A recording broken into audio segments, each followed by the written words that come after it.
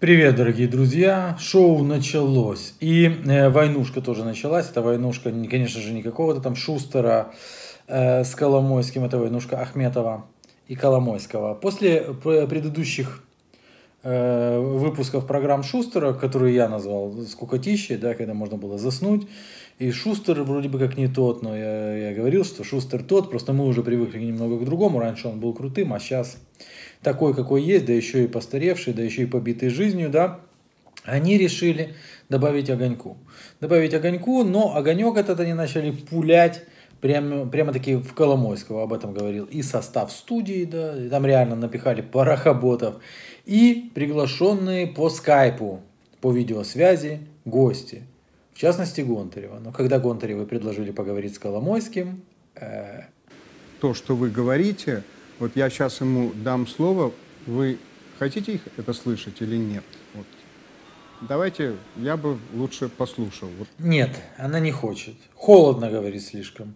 Холодно на улице, поэтому не буду я разговаривать с Коломойским. Выглядит, кстати, хорошо, хотя, видите, сказала, что возвращаться больше не будет в Украину. В Украине уже выжженная земля. Выжженная земля, это она имеет в виду, вон тут свой дачный домик сгорел. А где теперь приткнуть голову? Да из, из аэропорта некому встретить, машину же сожгли.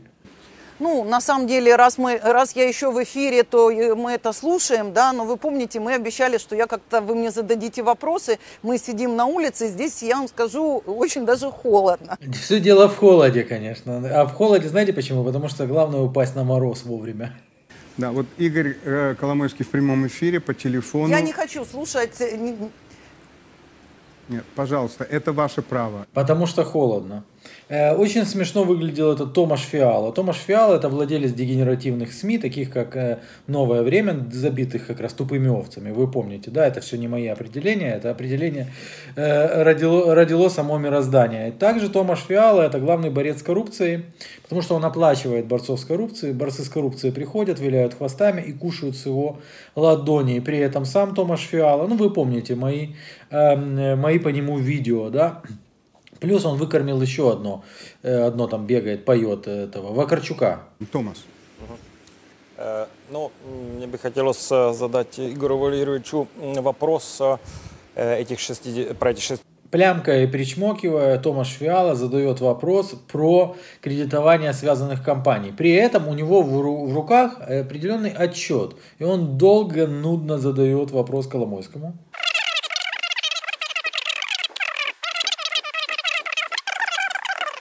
Но все поставлено так из рук вон плохо, что э, Коломойский вопрос не слышал. Томас, вот а, секундочку. Э, да. Игорь Валерьевич нас слышит сейчас. Вы можете повторить ему этот вопрос, пожалуйста. И потом Томаш реально повторяет свой длинный нудный вопрос, опять причмокивая и прихрюкивая.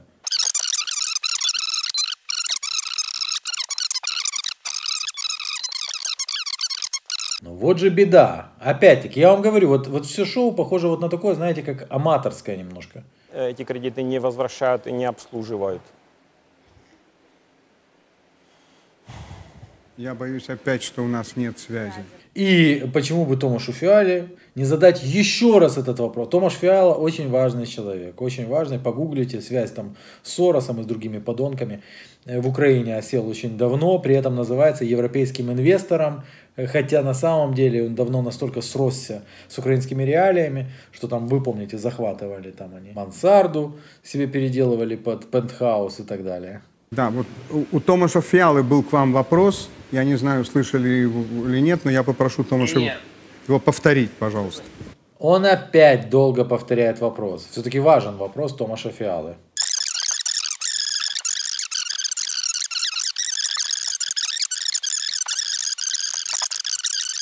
И тут на сцене появляется Коломойский. Я уже говорил, когда-то можем его любить, ненавидеть, презирать. Но э, Коломойский умеет говорить сочно. Скажите, вы кто такой? Томаш Фиала меня зовут. Он Томаш го... Фиала, мы, вы, вы аудитор или кто? Не, или я, чит, я читаю ваш аудит, он, он у меня в руках. Ну так читайте его спокойно. Фиала начал зачитывать ну, не, не тот документ. Потому что э, об этом документе Коломойский знает, и он отлично знает, а что там написано. Да, ну так сколько там было, сколько там было связанных кредитов? Но там э, кредиты э, э, компаниям, которые торгуют нефтепродуктами, 40 миллиардов Я не знаю гривен. про компании, которые торгуют нефтепродуктами. Связанные компании и компании, которые торгуют э, нефтепродуктами, конечно же, по букве Коломойский абсолютно прав. И Фиалик Рытничем. Я спрашиваю, сколько в отчете написано про связанные кредиты? Сколько там? Там такая колонка и 30, цифра. 34,5 миллиарда гривен. Вот, это на 1 января 16. Как, это выдержан норматив? Томаш высказывает свое подозрение, Коломойский в свойственной ему неповторимой манере говорит, кому это подозрение лучше переадресовать. Ну, есть подозрение, что эта цифра э, сильно занижена. Послушайте, вы, послушайте, вы же не следователь и не прокурор, поэтому свои подозрения оставьте своей супруге. Но постойте, постойте. У Томаша есть еще один вопрос. Пожалуйста, Томаш, у вас есть еще один вопрос, я понимаю. И начинается самое забавное. Показывают интервью, где Коломойский рассказывает, почему он потер Шустера в свое время. Потому что Шустер, мол, брал деньги у мэров городов отдельных за участие в программе по 50 тысяч долларов. В интервью Игорь Коломойский упомянул меня, естественно, это вы слышали, и моего партнера Павла Ельзарова, то Павел просто попросил Олега Лешко, потому что Олег Лешко реально знал. Олег Ляшко реально знал почему. А вот теперь я выскажу свое мнение. Я абсолютно убежден, что имеет, имеет место быть и та ситуация, и другая ситуация. И одно другому не мешает. Я абсолютно убежден, что имело место быть и желание каким-то образом там оказать услугу Порошенко на то время, и то, что Шустер взял деньги. Просто то, что Шустер взял деньги, это типа не замечалось до того момента, пока не надо было его бахнуть. По понятиям было за что. Всю внутреннюю историю, почему это произошло. И э, Олег Лешко это рассказал публично. Олег Ляшко публично рассказывал еще много интересных вещей. Но если мы будем говорить о том, что это соответствует действительности, если брать на веру все, что рассказывает Олег Ляшко, ну, пожалуйста. Я уверен, що Шу- Шу- Шустер каже правду. До речі, от е, цей Коломойський зараз каже, я дивився інтерв'ю, мені Єлізаров показав. Павло Єлізаров, співзасновник цього Шустера, я недавно з ним зустрічався. Значить, показує мені інтерв'ю Коломойського, де Коломойський розказує, що він викинув Шустера із ефіра, тому що Шустер брав гроші з якихось там мерів по 50 тисяч доларів. К слову, да, Наташа Влащенко потом написала свой большой, большой привет, передала Шустеру, потому что там даже не, не, не соизволили указать, что это ее интервью. Ну ладно, ее и так все знают, окей. І Єлізаров, ну я точно знаю, що Коломойський його викинув не за це, а і за мене. І Єлізаров це знає. Він приїхав до мене, чи зможу я це підтвердити. Надеюсь, в суде выйдет Ляшко и скажет, я это подтверждаю. Ляшко настолько безупречный человек, что он, конечно же, может это подтвердить. Аффилирован ли Ляшко с владельцем э, того телеканала, на котором выступает Шустер? Без сомнения. все выстраивается в четкую, в четкую вертикаль борьбы в дубинку В дубинку, которой надо ударить Коломойского, чтобы было больно. В итоге, если бы они не вывели его в эфир, или вывели в эфир, но потом отключили по техническим причинам, как это делается да, на многих шоу, то, возможно, этот удар получился бы. Он не получился, потому что в эфире был Коломойский. Мені дзвонив Коломойський, просив, щоб я не їхав. Е, Тут заходить Шустер, каже, дали команду викинути їх з ефіру. В общем, это важные показания. Я думаю, они однозначно будут использованы в суде, и суд станет на сторону Ахмена эм, Шустера. Да, сейчас слышу. Пожалуйста. Что именно? Как что именно? А, Шустер растерян. Когда ты хочешь загонять кого-то в прямом эфире, будь настойчивым. Пусть голос твой не дрожит, и пусть ты будешь подобен скале. А Шустер был подобен человеку, который не знает, с какой стороны подойти к Коломойскому. Мы с вами Ну, будем судиться. Данилюк, Последний раз мы расстались о том, что надо прокомментировать Данилюка. Что надо, что надо комментировать? Ну, сказали, Данилюк закончит, и вы мне дадите слово. Я так понимаю, мы- Данилюк закончил. Одним из основных тезисов этого видео может стать э, фраза «Данилюк закончил». Данилюк закончил. Данилюк закончил уже несколько десятков минут назад, да. Да, ну, просто вот мне позвонили, когда Данилюк закончил. Крупным планом показывают лица парохоботов, там разжиревшей Сони Кошкиной, там, ну, других лиц. То есть вся передача наполнена этим, наполнена желанием ударить Коломойского. Нет ни одного человека, который мог бы в студии начать рвать на себе нижнее белье за Коломойского. Савик, вы там свои шоу, когда устраиваете, Нет. вы не забывайте о том, что вы имеете дело с людьми, которые тоже имеют отношение к некоторым шоу. К некоторым? Савик, это ничего постыдного. Взять небольшой слуховой аппарат за ухо. Он вообще не виден, причем шевелюра позволяет. Мне сказали, что мне дадут слово после того, как закончит... Это было в прямом эфире, можете поднять это. Текст. Слушайте, Когда вот, Данилюк вот, смотрите, закончит, мне вот дадут- столько мне свидетелей, мы Минут, все время минут, вам минут, звонили. Минуточку, Савик, Савик. Я же не у вас в студии, и вы для меня не ведущий. Так я не понял. А Данилюк закончил? Сказать пару слов, когда закончит Данилюк. Я спрашиваю, Данилюк закончил или нет? Но это не главный вопрос. А все-таки главный... А Данилюк закончил? Так мне позвонили и сказали, вот вам слово. Я спрашиваю, Данилюк закончил или Легкий попуск передачи. Не, конечно же, я не смотрю вашу передачу. не закончил? Нет, Данилюк закончил. То есть вы не смотрите А передачу. а- а- ну, конечно, я не смотрю ваши передачи. И вместо того, чтобы начать отбиваться, Коломойский идет в атаку. И в принципе можно было понять, что он это будет делать. Э, В этом случае надо было не выпускать своих компаньонов с бумажками, которые они читают, но никому не покажут. Здесь надо было подготовить серьезную аргументацию, а не вот эти вот покалывания со стороны этого плямковающего фиала и так далее, бегающая, трясущая с- своей красотой Соня Кошкина там. Не. Я знаю, чего она стоит, и как она стоит, и сколько она стоит. Ах так. Ну, конечно, так. Мы с вами, у нас с вами контракт не закрыт. Шустер продолжает показывать, я показываю иск, мы с вами будем судиться. На самом деле, он обещал судиться давным-давно. А почему только сейчас такое оживление с этим иском? Слушайте, у нас, я вот показал иск, да, мы с вами будем судиться, поэтому мы сейчас Да, мы, конечно, заинтересованные будем, стороны. мы, конечно, будем судить. Вы только не Обязательно. пугайте меня суда. А я вас пугать не собираюсь. Да. Я, где будем судиться, в Италии или в Украине? Идет отсыл сразу же к гражданству Шу- Шустера, как я понимаю, да, по поводу Италии. Это мы решим. Я Как это, это мы решим? Если есть иск, то этот иск уже конкретно куда-то направлен. Или будем судиться, это значит, что мы ему напечатали, но еще никуда не подали. Но я так понимаю второе. Еще я никак не могу понять, где вы живете, поэтому, понимаете, там... э, э, Я в, Ки- я в дайте- Киеве живу. Отдайте ваш адрес, то, чтобы мы тогда иск туда Да что вы пришли. говорите, адрес вам прямо дать. Ну а почему же нет? Данный, данный пассаж уже напоминает Гордона, который очень долго искал мой адрес. Помните, публично им интересовался, пока с ним не связались мои адвокаты и не, не спросили его адрес. Да? Э, Что, что это такое? Что значит, где вы живете? Вот это вот все это. Это подготовленное было шоу, да? Или не очень подготовленное? Ну а что вы в прямом эфире адрес спрашиваете? Мы увидимся, я вам дам адрес. Прекрасно. Это хорошо. Я вам очень Да. благодарен.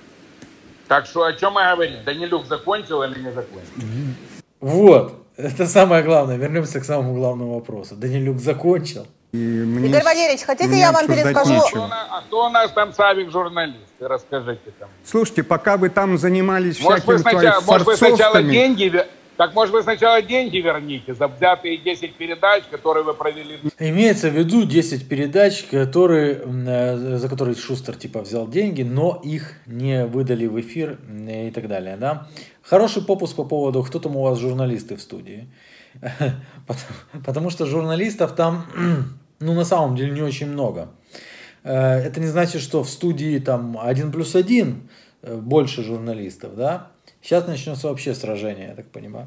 Один плюс один и канал Украина, да? Ну, э, но Шустера, конечно же, юзают, потому что это, ну, это тупо битва олигархов. Было несколько достаточно мощных ударов по Ахметову, публичные ударов, и вот теперь э, ответка. Ответка получается смазанной. Значит, смотрите, А потом вы покажите контракт, вы покажите, что вы это, покажите контракт, придете в Да суд, у нас все контракты все. Вы, покажете. не переживайте. Вы верните 2 300. Что? Вот такой маленький слуховой аппаратик. Вообще он незаметный. Я смотрю, сейчас старики носят. 2 миллиона 300 тысяч долларов.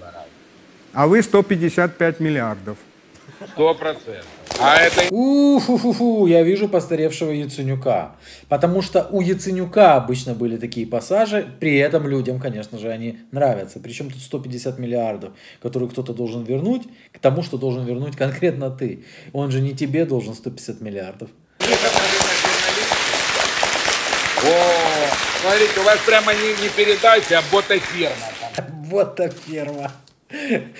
Ну, главное, что там сидят и работодатели в одной студии, и те, кто у них кормится с рук. Вот это что интересно. То есть под, подбор, конечно, ну, могли, могли разбавить каким-то человеком, который... А тут даже Данилюк, Данилюк, команда там, З-команда там, да, все такое. И даже он рассказывал о э, Приватбанке не в пользу Коломойского. Судя по аплодисментам. Да, ну конечно, здесь же народ, это не, то есть вы же Ну, гораздо конечно. вы, вы же я- выше это. Опять Шустер пытается уйти в яценюковство, касательно того, что вот это же народ, а вы выше этого и так далее. Шустер, а ты такой же, как этот народ, ты тоже сидишь в студии за 100 гривен или нет? Ну зачем это? Причем тут это? 155 Слушай, миллионов. Видите, сразу, сразу проявилась направленность модератора. Куда? То есть кто заказал передачу? Как Куда? там Ахметов поживает? Все нормально? Звучит э, имя заказчика этого всего, действа.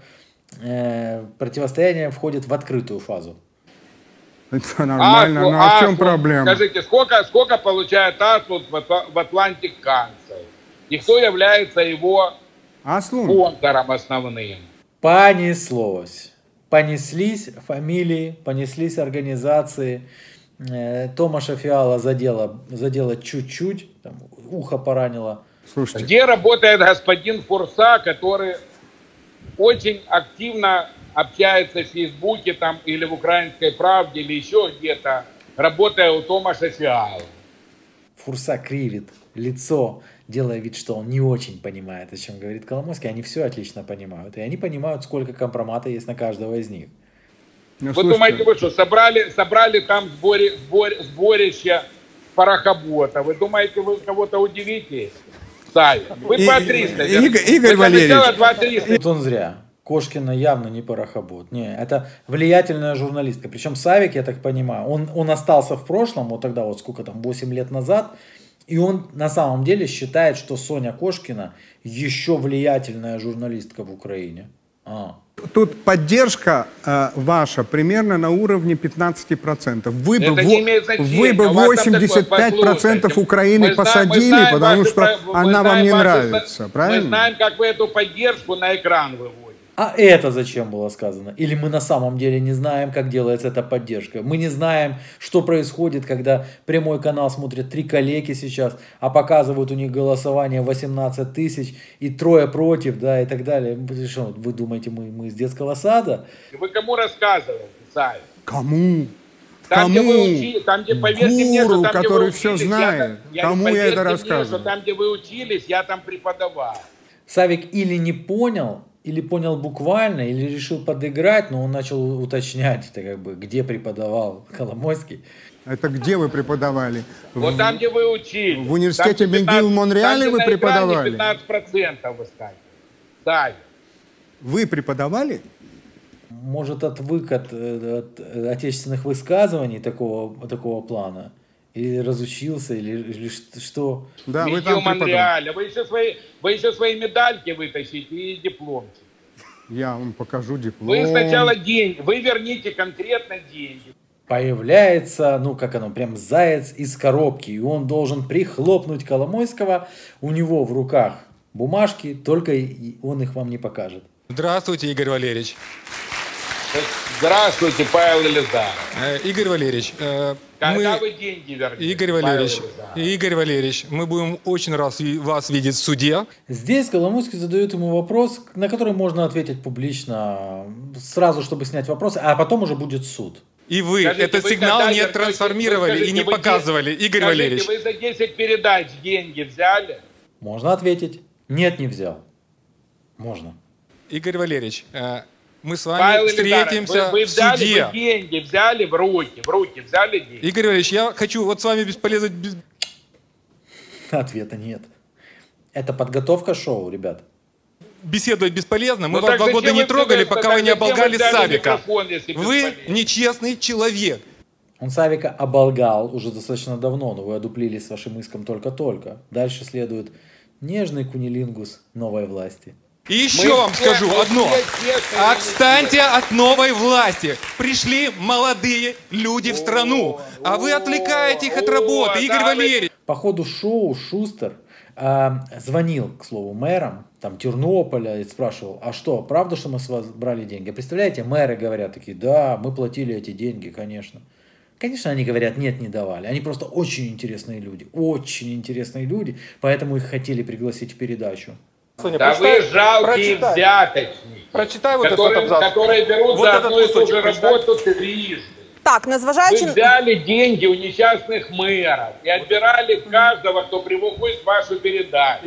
Э, Коломойский являлся в этом случае хозяином ситуации. Я читаю постфактум, там, фу, мерзость, что с той, что с другой стороны. Не надо говорить, что с той, что с, другу- с другой стороны. Коломойский такой всегда. Он такой всегда. И в этой передаче он доминировал. Ну, простите уж за такую... Что-то что жидкие аплодисменты стали. Нет, так это от любви к вам. стали. Как-то по- пожизненные аплодисменты. Выпрыгивает на сцену Соня, а, потому что она же все-таки еще влиятельная журналистка, поэтому она должна брать бразды в свои, в свои пухлые руки и зачитывает, а Коломойский советует другой контракт почитать, офшорный. Шустер студия, телекомпания студия. Соня, пусть они вам офшорную часть покажут. Но на этом опасном моменте надо уже пускать титры, вы же понимаете. Савик, как там с офшорной контракт. частью? Покажите это, боже ты мой. 90% от стоимости контракта. Да, так нет, так его покажите. Дело в чем? Да, Ну, да нормально покажем. Вы скажите, было или не было? Не Чтобы было. Потом, когда покажем, вы поняли, врете вы или не врете. Э, Игорь Валерьевич, я прямо сейчас его публикую. Передача окончена. Войнушка олигархов вышла в публичную плоскость. Кто победил, по-вашему, в этом батле? Не говорите, победила дружба, ни тот, ни тот. У кого-то ж было преимущество. Мое мнение вы услышали. Потому что ну, это очевидно. Подписывайтесь, чтобы ничего не пропустить. Пока.